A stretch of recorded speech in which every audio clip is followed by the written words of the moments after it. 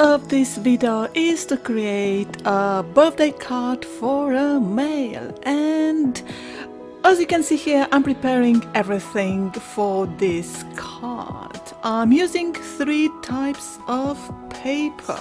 So there is the 240 GSM double-sided card as you can see here, the glittery page and the 240 to 280 GSM Mirri paper, the one which is a bit shiny there with a beautiful design and some pearls on top. I got this one from Create and Craft and there was a special offer so it was very very cheap in the end. I like using all these extra elements, the graphite texture uh, paste plus a stencil which I'm going to apply on all the three pages.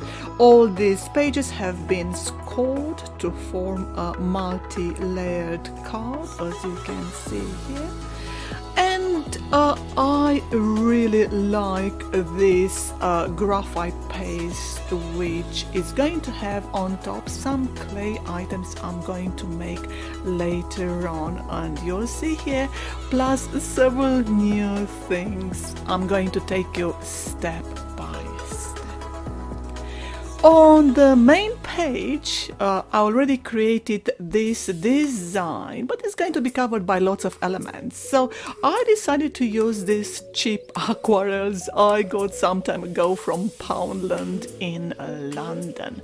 So because everything is in colors of yellow, green, burned orange. That is why the card is also uh, covered in these aquarels. You don't need to use something expensive uh, because it's going to be covered. Plus, I like this very delicate colors to go together with the graphite paste which is simply amazing in real life it's a bit glitterish so is really beautiful other things I want to do is using this modeling clay and stencil I got on eBay to create these little angels and this was my first attempt using this stencil and I am so happy with it.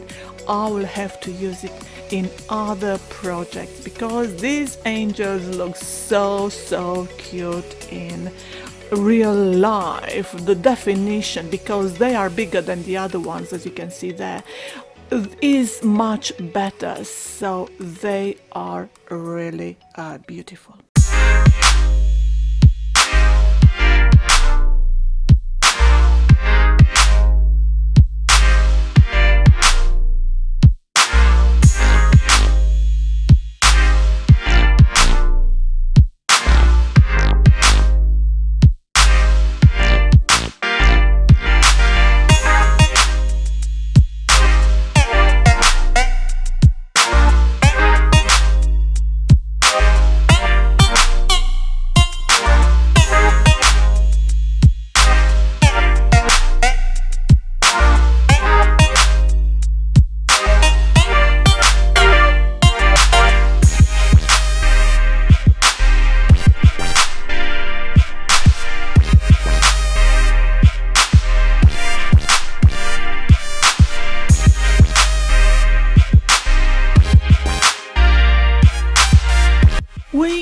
Need to put all the elements together on this card. As you can see, I created a design. I'm very happy with this arrangement. So this is what I'm going to put on my card. I'm using lace, flowers, chipboard, all of them purchased at Dollar Tree, Dollarama, Michaels and other similar shops in both USA and Canada during the, my trips in the previous years and these two frames were from a different project. I chose to cover my clay elements in gesso because they dried from that dark grey you saw originally to a lighter grey so I let them overnight to dry.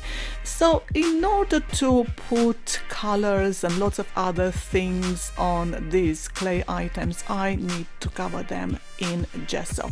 In the past I made my gesso, now I was pressured by time so I decided to buy this uh, gesso uh, on eBay. I think I paid some five pounds for a big jar so it was very good value for money. These flowers I purchased them in bulk from Michaels as I said during my previous trips and I really like their quality.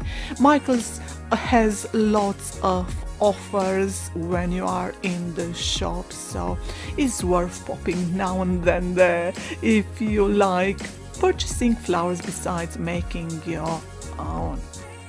I'm mounting all my elements using different chipboards for 3D effect and I'm going to also be stamping my elements rather than cover them in painting. I also like using this chipboard I purchased from Canada is a Mary chipboard and I will also be using Cosmic Shimmer Wax later on.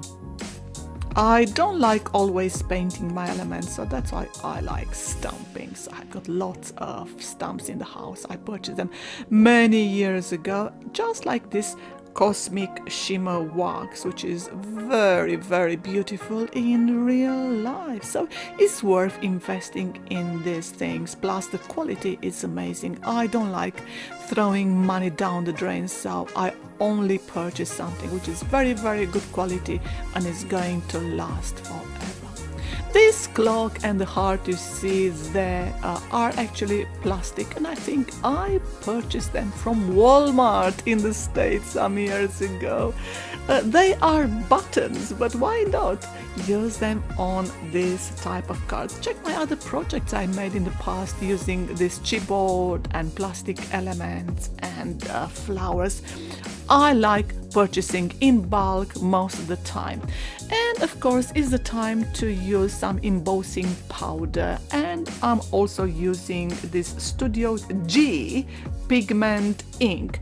These two are very, very good quality. It's very important to invest in the right embossing powder and the right pigment ink because some of them are very bad quality despite receiving lots of excellent reviews both on Amazon or eBay. Is very very strange. Maybe the quality differs from country to country. I'm not sure what's going on. I'm going to use another type of uh, pigment ink later on this golden one which is very beautiful. I'm also going to use Cosmic Shimmer glitter paste which is very very good quality I buy it for many years besides Ranger Multimedia Matte uh, together with little bits you are going to see uh, later on so these are the right things to invest in if you like uh, having good quality items to use over and over again in your projects.